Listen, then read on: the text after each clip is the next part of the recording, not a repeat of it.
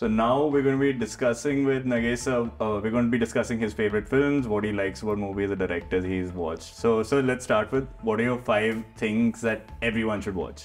I mean, based on your own taste, it doesn't have to.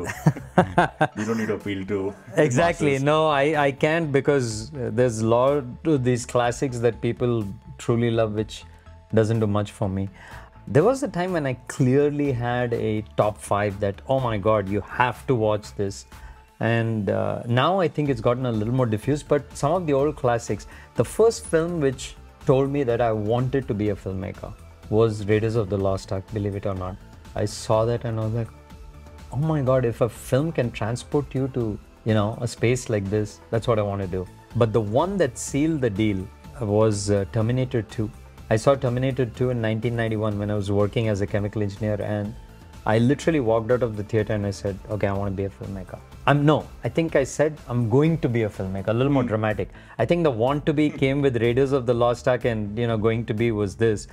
And when i mentioned this story to a, a niece of mine uh, there was a pause and she said, You know, what you're talking about and what you make have nothing in common, right? and I was like, Yeah, but no one's giving me the budget to make this. So, like movies which I think people absolutely should watch uh, The Shawshank Redemption. Oh my god, that is just a, a classic for the ages. I'd have to pick like five Coen brother films, but maybe I'll stop with two Raising Arizona, Big Lebowski. Oh my god, it should be on people's must watch list. Probably Kubrick's 2001. So freaking crazy and ahead of its time. You mentioned Glengarry, Glen Ross, David Mamet. Absolutely. You know, periodically I'll just go back and watch the scene where Alec Baldwin comes in and put that coffee down. Coffee is coffee that, is only that for you closers. written on your kurta? Which you is that the line? Put yeah. the coffee down. Coffee is only for uh, closers.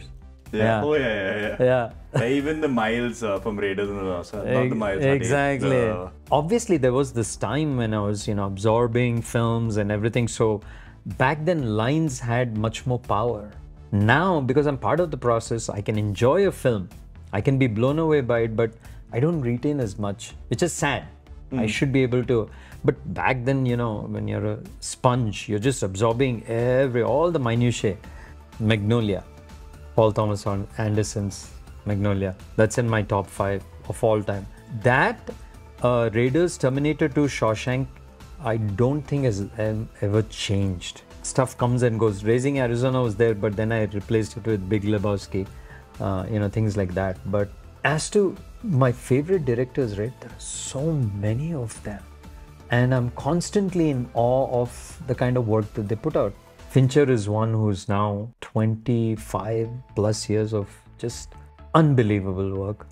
Soderbergh, not all Soderbergh, but definitely some of the stuff that he does is just incredible. So of late, has there been any movie that you really thought that this is a fucking good movie? Like they don't make them like this anymore. The one which I saw recently, and I was like, you know, that is something that I would dream of making, was Coda. The one which won the uh, Oscar last year Okay. for uh, a deaf family that has a hearing daughter. Okay, it's an English film. It's an English film. It is out of the freaking world. And I just saw that recently. I saw it like a couple of weeks ago. What draws you to these directors? Is it the subject matter? Is it how they handle their subject? Is it If you look at the directors I've listed, okay, um, loosely my favorite directors, uh, the ones who occupied rarefied air Kubrick, uh, Spielberg, Cameron, uh, Joel and Ethan Coen, Eastwood. And you look at the kind of stuff that they're making, they're all different. Quirky, brilliant, to drama, to big action picks. So it's everything. So I think I gravitate towards all the things that I know I cannot do easily. okay? Then it leaves something for me to work towards, something to aspire for. Have you seen uh, Doctor Strangelove? And Yeah. I mean, it takes a certain mind to be able to write scenes like that and actually execute them, right? Yeah. Writing a, an, a And to make it funny and to make- it land also. No, I, I see that with Kubrick, I see that with Spielberg, but with the Coen brothers, like they still have the same grammar in all their films, right? Are you saying with reference to what I do or No, like their films? Their films. Not necessarily. I mean, they'll tackle, but yes, they have a certain Quirkiness, like Yeah, the that's the 35 word mm that's- close-ups, with the dialogue, the way they're spoken out. It's very like But then they'll have serious stuff like A Serious Man Hmm. or Inside Llewyn Davis again. And early Coen Brothers is it's brilliance of another level. It's just stuff that is jaw dropping, the kind of stuff they were doing, which will be there for the ages. I think it's stuff that I realized that oh I can't do that easily. Did you like Hail Caesar? No, I did not. Yeah. It was okay. Hmm. it was And okay. what about uh, Buster, the one on Netflix? loved. That is vintage Coen Brothers. The Ballad of Buster Scruggs. That is vintage Coen Brothers. But uh, so the other directors you mentioned, they have a their scales are completely different. Like, uh, but the Coen Brothers are also not like the, as grand necessarily as No, they're not. And yet they can tell tales in a way that I can't even fathom. Oh, so for them, what the thing that you appreciate about them is that the way they uh, story the storytelling, Absolutely. not the scale and the execution One of like a hundred percent, yeah. Because and the the quirkiness of the writing, the way they think of characters, they have these elaborate dream sequences. I could just go on. I mean, they do so many Hmm. things differently. Yeah.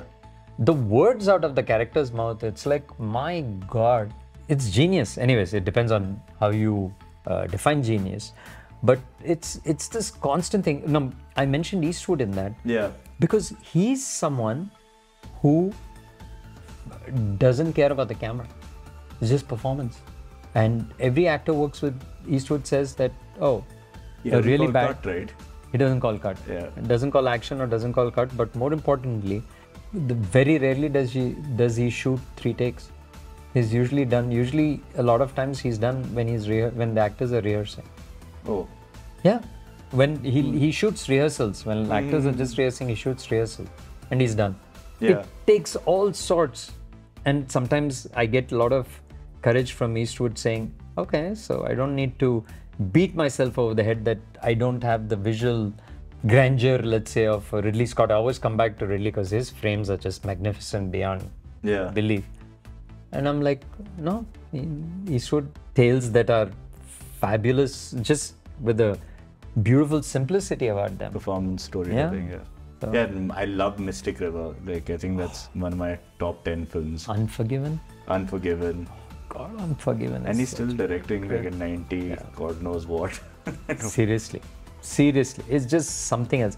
Now you can see the chinks, but otherwise, what about Million Dollar Baby? Yeah, and- oh my God. I think even after Million Dollar Gran Torino, Gran like, I think Torino that was, was- my last film of his that I really liked. I agree. yeah. I agree with you. yeah. I love Gran Torino. And Gran Torino is like, and I mean, also he's acting at 90 and directing, like, that's another. And what about Indian directors like that? I mean, you grew up watching a lot of Telugu movies also, right? Was So, it, does eh, that play an influence in like the kind of stuff you? I'm sure it gravitate did. There are two Indian directors I've always held in very high esteem. In Hindi, Hrishikesh Mukherjee, and in Telugu, K. Vishwanath. And if you look at the way I handle the middle class, I guarantee there's influence from both these people. Because I, I grew up as a middle class kid in India, so I view a lot of the India that I see through a very middle class lens. And I think unconsciously I've borrowed from these people. Because if you see, both of these people told middle class stories in a very realistic way in a commercial setting. They made films that were released to widespread audiences, but the characters spoke very real.